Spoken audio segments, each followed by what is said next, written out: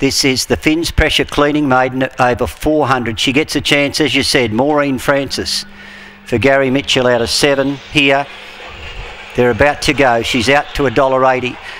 They're racing. And away they go and she began quite well. Maureen Francis out wide but beginning brilliantly was Temple Grandin. It leads away. Maureen Francis is up there going with it. There followed three lengths to behind those was uh, Bogalong Boy at the head of the others Cosmic White. About three lengths then to Coda Busty who's well back with Petrol Pumper. Around the turn they come and uh, going on to win it. Temple Grandin will be too good. Temple Grandin's won it. Getting through uh, Bogalong Boy is in a photo there with the favourite Maureen Francis who just claved up in the final stages of the race, and they were followed back behind those uh, very close for second and third, though nothing in it there. They're followed further back in the race by uh, Cosmic White with Coda Butsy.